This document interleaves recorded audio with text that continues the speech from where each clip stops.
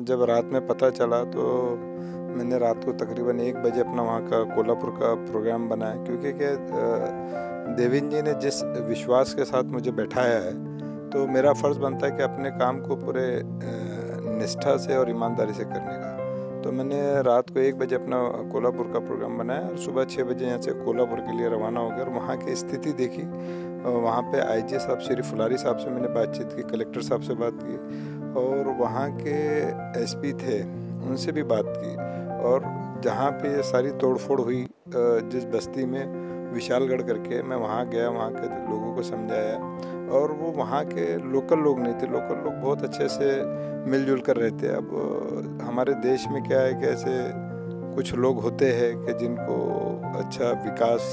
पसंद नहीं है तो वो लोग अमन पसंद नहीं तो उन लोगों के लिए उन लोगों के बारे में कुछ कहा नहीं जा सकता। लेकिन देखिए भी महाराष्ट्र जो है वो विकास की ओर अग्रसर है और यहाँ पे ये सब चीज़ों को बर, बिल्कुल बर्दाश्त नहीं किया जाएगा। तो वहाँ पे जाके उनको बाकायदा फ़र्स्ट टाइम ऐसा हुआ है कि कलेक्टर साहब ने within forty eight hours के अंदर उनको मुआवजा दिया। सरकार की भी तरफ़ उनका कुछ डेढ़ पौने दो करोड़ रुपये मुआवजे के लिए भेजा गया